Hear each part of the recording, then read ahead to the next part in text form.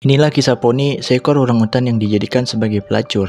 Dirantai di tempat tidur dan dipaksa untuk berhubungan badan dengan laki-laki. Itulah nasib orangutan asal Kalimantan ini selama bertahun-tahun. Poni ditangkap dan dijadikan sebagai pelacur oleh penculiknya. Mereka meniduri Poni dengan tarif yang berkisaran sekitar 37.000 rupiah. Poni dipaksa untuk berdandan, memakai parfum, dan memanjakan diri ketika ada lelaki yang mendekatinya. Meski ada juga pelacur manusia, para tamu itu pun tetap memilih pony untuk berhubungan dengan orang hutan itu. Naasnya, seluruh bulu pony pun sering dicukur agar para tamu-tamu tersebut merasa nyaman. Akibatnya, kulit Poni sering digigit nyamuk yang menyebabkan kulitnya menjadi iritasi dan berjerawat untuk menyelamatkan hewan walang itu sangatlah sulit, sebab para warga dan pemiliknya sangat keberatan, bahkan mengadang petugas dengan senjata. Dan pada tahun 2003, tim BOSF yang dibantu dengan polisi dan angkatan militer berhasil menyelamatkan poni untuk dibawa dan dilakukan rehabilitasi.